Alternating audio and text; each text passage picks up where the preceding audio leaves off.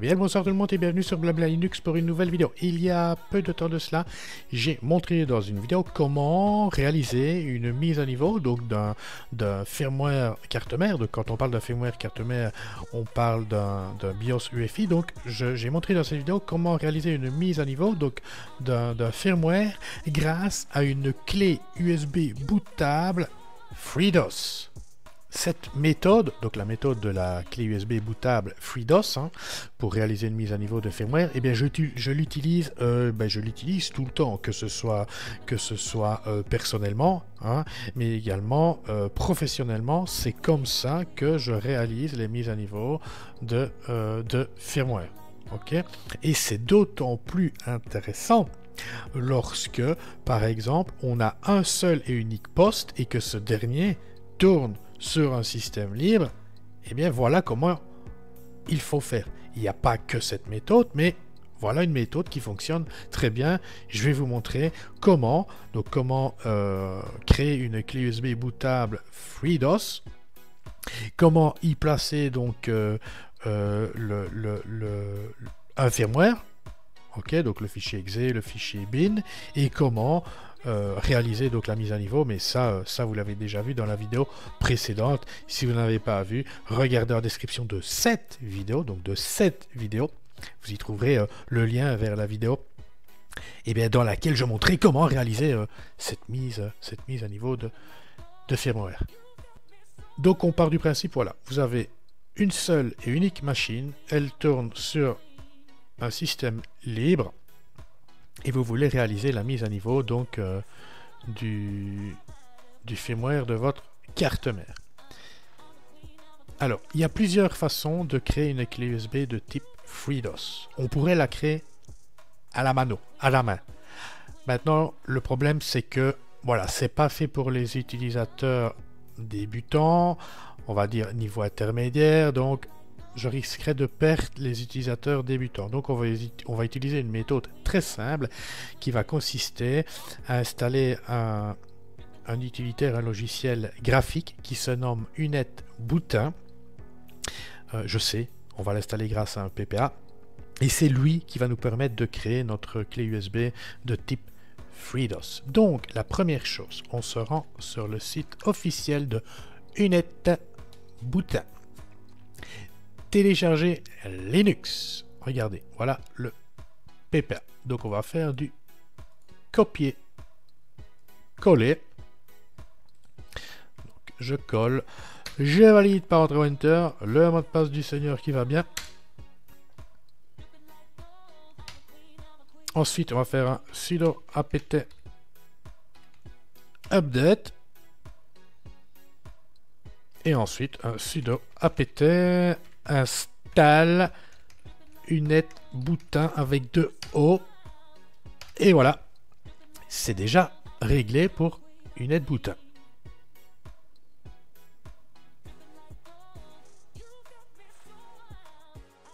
Alors, une aide boutin est installée. Je vais directement aller chercher un fichier .exe qui va intégrer donc le firmware de ma carte mère. Admettons que la machine dont je vais m'occuper est une machine de marque HP, euh, modèle 6000 Pro, MT ou SFF SFF, donc Small Form Factor, donc machine à faible encombrement. Et je précise BIOS, je passe par Google, ce sera plus pertinent. Voilà. L'autodétection du système d'exploitation se fait voyez, système d'exploitation détecté Linux. Ça ne m'arrange pas puisque regardez, je n'ai pas accès au firmware. Soit je, je vais choisir un autre système d'exploitation, soit je choisis Windows, version, je vais choisir la plus récente proposée, donc la version 8 architecture 64. Et là, regardez, j'ai bien accès au firmware BIOS. Ou alors, vous pouvez également, système d'exploitation, choisir FreeDOS version FreeDOS. Regardez, on est en version 02.03 modifié et on aura affaire à la même version. Je clique sur télécharger, enregistrer le fichier, donc c'est un fichier exe. Hein. Euh, c'est fait.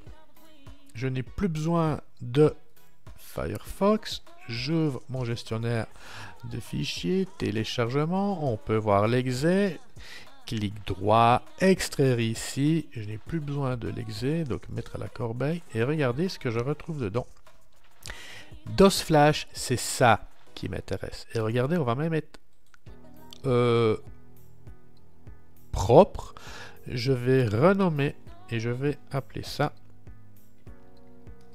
6000 euh, SFF. Voilà, vous allez comprendre. Alors, maintenant, je lance J'ai Partid. Pourquoi? Parce que je suis propre, je veux, je vais créer une étiquette sur ma clé. Donc, la clé, moi, c'est celle-là. Ne vous trompez pas. SDC. Ok, il y a une partition de montée, je la démonte. On repart de zéro. Hein. Donc, euh, périphérique, créer une table de partition de type MS-DOS, appliquer, clic droit, nouvelle partition, type FAT32, étiquette, moi ce sera FreeDOS. Ajouter, appliquer, appliquer.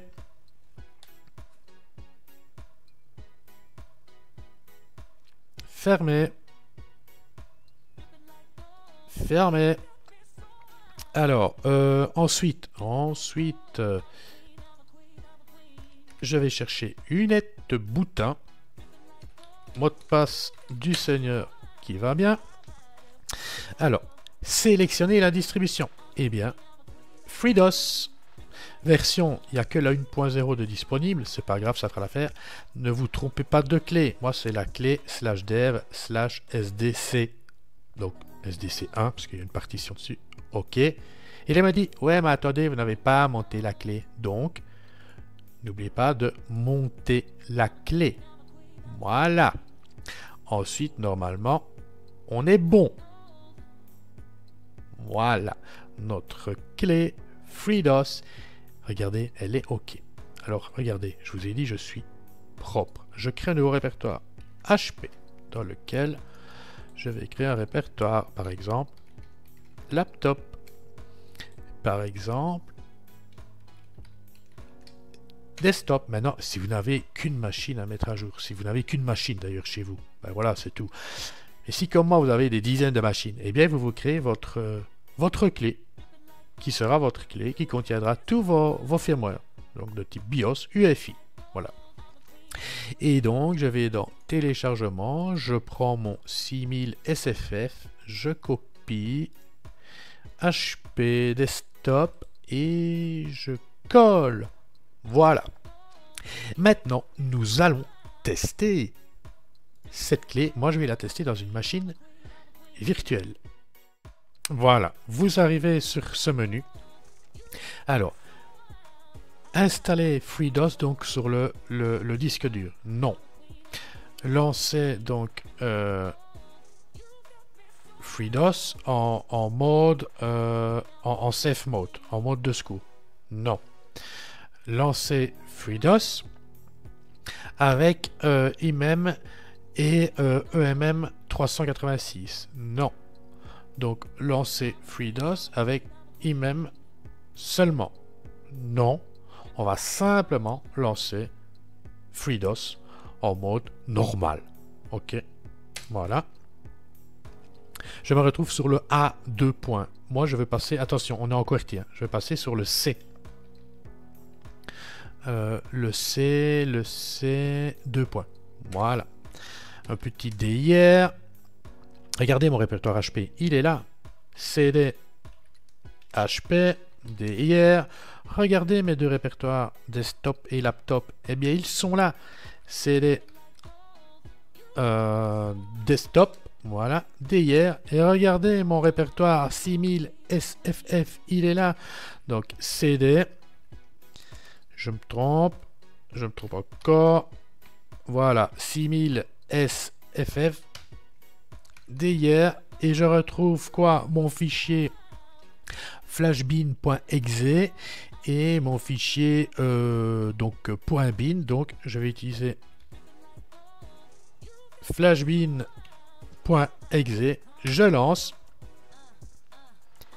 Et voilà, je vais pouvoir flasher le firmware donc de ma carte mère. Bien évidemment, ici il me dit quoi? Il me dit que le système n'est pas supporté. Bah oui, ce n'est pas un HP 6000 Pro SFF, ce n'est qu'une machine virtuelle de test.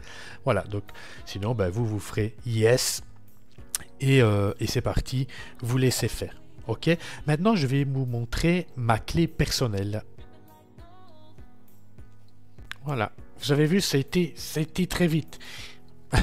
Ici, j'ai eu, euh, j'ai eu un, menu qui est apparu et qui me, permettait de choisir euh, l'entrée clavier. Donc, euh, entrée clavier français ou US. Pourquoi ce choix? Pourquoi cette différence?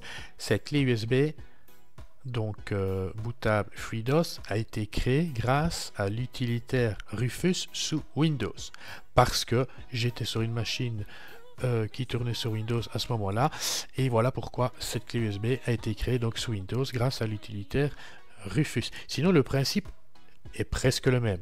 Un menu avec le choix de l'entrée clavier. Et alors ici, voilà, directement, on est sur ces deux points. Donc, dès hier, on peut voir de nouveau mon répertoire HP, je rentre dedans. Mes deux répertoires, desktop, laptop, si je fais, si je rentre dans dans desktop d'hier. Voilà. On peut voir qu'il y a beaucoup plus de firmware disponible. XW 4400, Z220, Z210, Z200, 6000MT, 6000 SFF, 6200 SFF, 5800 SFF, 8300 SFF, 800 G1 et peu importe, admettons je vais rentrer dans dans Z j'ai dit Z. Ah oui, mais j'ai pas, voilà, j'ai pas, j'ai choisi l'entrée US. Z200. Voilà, et le principe est le même. Flashbean.exe. Et voilà. Dorénavant, vous saurez, donc ici, ben, vous n'aurez pas ici, hein, euh, enfin si, donc ici, vous, faites, vous ferez yes. OK euh, Moi ici, voilà, euh, je vais pas le faire. En plus, regardez, il y a une note qui dit, bah, attention, hein, que le système n'est pas, euh, n'est pas, n'est pas supporté. Ok, donc voilà, maintenant vous saurez comment vous créer une clé USB bootable de type FreeDOS pour mettre à jour les firmware de toutes vos machines si elles sont sur un système libre. GNU Linux. Maintenant, il y a une autre façon de faire. Hein. On, peut, passer, euh, on peut directement euh, placer donc le fichier .bin à la racine de la clé, ok, qui était formaté au préalable en FAT32. Euh, et alors, on rentre dans le firmware et bien souvent, il y a une option qui permet donc de flasher le firmware en démarrant sur la clé USB et directement en démarrant dessus, eh bien le fichier .bin est lu et hop, la mise à niveau s'effectue. Il y a plusieurs façons de faire. Voilà, ça c'est une parmi, euh, parmi plusieurs. Voilà, moi je vous dis bye bye et une prochaine, c'était Annie pour Blabla Linux. Ciao ciao